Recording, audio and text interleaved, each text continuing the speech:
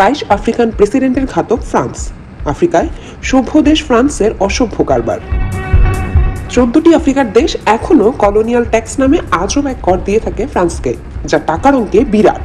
দেশগুলো হলো Mali, Gabon, Chad, Niger, Senegal, Benin, Togo, Burkina Faso, Congo, Ivory Coast, Central African Republic, Cameroon, Guinea আর Guinea বিসাও।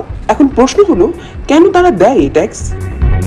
France অন্যান্য ইউরোপীয় শক্তির মতো উনিশ ও বিশ শতকে আফ্রিকার বিভিন্ন অঞ্চলে ঔপনিবেশিক শাসন প্রতিষ্ঠা করেছিল।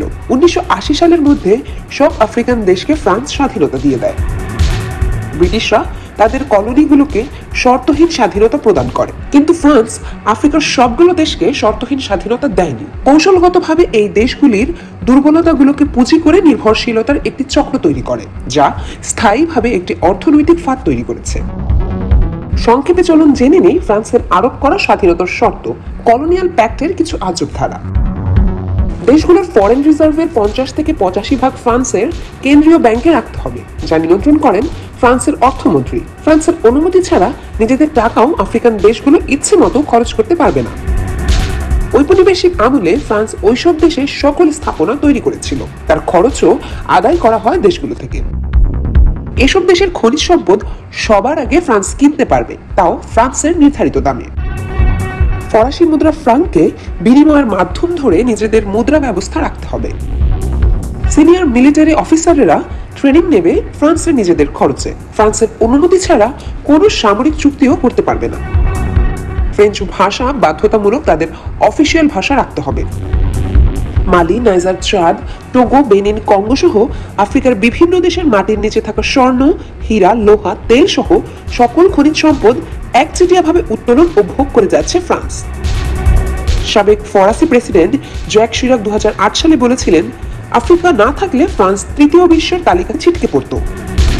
আফ্রিকানরা বলে থাকে, শোষণের বিরুদ্ধে কথা বলায় উনিশশো সাল থেকে বাইশ জন আফ্রিকান প্রেসিডেন্টকে হত্যা করেছে ফ্রান্স। দেশটির চক্রান্তের শিকার হয়ে প্রাণ হারানো রাষ্ট্রপ্রধানদের মধ্যে সর্বশেষ নাম মুয়াম্মার গাদ্দাফি। এসব হত্যা কিংবা অভ্যুত্থান ঘটানোর পেছনে ফ্রান্সের তিনটি গোয়েন্দা সংস্থা দায়ী বলে উল্লেখ করে এক উপসম্পাদকীয় প্রতিবেদন প্রকাশ করেছে আফ্রিকান গ্লোব। ফরাসি বা ফ্রেঞ্চকে রাষ্ট্রভাষার মর্যাদা দিতে বাধ্য হয়েছে বিশ্বের উনত্রিশটি দেশ।